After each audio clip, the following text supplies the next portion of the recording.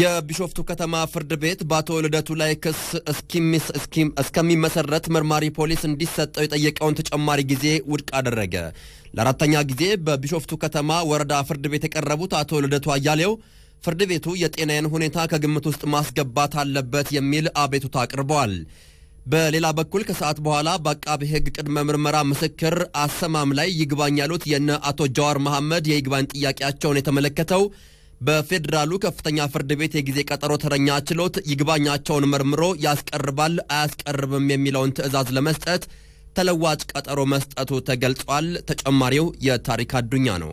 በሰኔ 23 ቀን 2012 ዓ ም በቢሾፍቱ ከተማ ሁከትና አመፅ እንዲነሳ አስተባብረዋል፣ በገንዘብ ረድተዋል ተብለው ተጠርጥረው በቁጥጥር ስር ውለው ምርመራ ሲከናወንባቸው የቆዩት አቶ ልደቱ አያሌው ዛሬ ለአራተኛ ጊዜ በቢሾፍቱ ከተማ ወረዳ ፍርድ ቤት ቀርበዋል። መርማሪ ፖሊስ እስካሁን ሲያከናውን የነበረውን ምርመራ ማጠናቀቁን ለችሎቱ ገልጿል። ይሁን እንጂ አቃቢ ምርመራ መዝገቡን መርምሮ ክስ መመስረት እንዲያስችለው 14 ተጨማሪ ቀን ጠይቋል። በሁለት ጠበቃ ተወክለው የቀረቡት አቶ ልደቱ አያሌው በበኩላቸው ፍርድ ቤቱ የጤናዬን ሁኔታ ከግምት ውስጥ ማስገባት አለበት። ከዚህ በፊት ያቀረብኩት የሕክምና ማስረጃ የልብ ህመምተኛ መሆኔን ተከትሎ ለኮቪድ-19 ወረርሽኝ እንደሚያጋልጠኝ ተጠቅሶ የተጻፈ ቢሆንም አልታየልኝም። ጤናዬን ከግምት ውስጥ ያስገባ ርቀትን የጠበቀ አያያዝ አልተደረገልኝም። በአንድ መጸዳጃ ቤት 50 እስረኞች ናቸው እየተጠቀሙ ያሉት። ይህ ደግሞ ለጤናዬ አደጋ ነው ብለዋል። ፖሊስ እስከዛሬ ሲያከናውን የነበረው ምርመራ አዲስ ውጤት አልታከለበትም። አስተባብረሃል ነው የተባልኩት። ያስተባበርኳቸው አልተያዙም፣ ምስክሮችም አልቀረቡም ሲሉም መቃወሚያቸውን አስደምጠዋል። መርማሪ ፖሊስም እስካሁን ሲያከናውን የነበረው ምርመራ በእጃቸው ላይ የነበሩ የስልክ መልእክቶች እንዲሁም በእጃቸው ላይ የተገኘ የሽግግር መንግስት መመስረቻ ሰነዶችንም ምርመራ ውጤትን በመዝገቡ ማካተቱን ገልጿል። ይሁንና ምርመራዬን አጠናቀቅ ያለው ይህ መዝገብን አቃቢ መርምሮ ክስ እስኪመሰርት ተጨማሪ ጊዜ ይሰጠኝ ሲል ጠይቋል። ፍርድ ቤቱም ይህ የጊዜ ቀጠሮ የምርመራ መዝገብ መጠናቀቁን በመግለጽ በወንጀለኛ መቅጫ ስነ ስርዓት ህጉ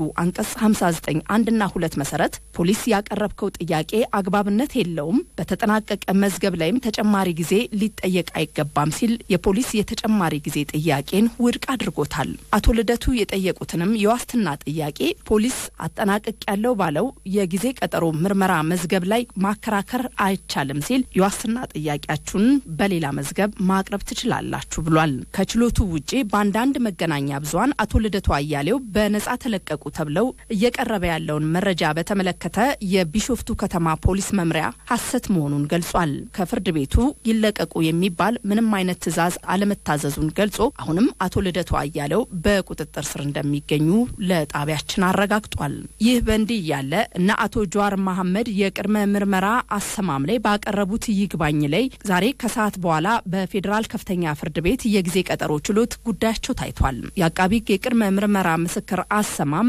ይግባኙ ያስቀርባል አያስቀርብም የሚለውን ጉዳይ ትዕዛዝ ለመስጠት ለጳጉሜ ሶስት ተለዋጭ ቀጠሮ ሰጥቷል። ይሁንና አቃቢ ሕግ በእነ አቶ ጀዋር መሐመድን ጨምሮ በሁሉም ላይ የሚመሰክሩ የአቃቢ ሕግ የቅድመ ምርመራ ምስክሮች በነገው ዕለት ለመስማት የፌዴራል የመጀመሪያ ደረጃ ፍርድ ቤት አራዳ ምድብ ተረኛ የጊዜ ቀጠሮ ችሎት ቀጠሮ መያዙ የሚታወስ ነው።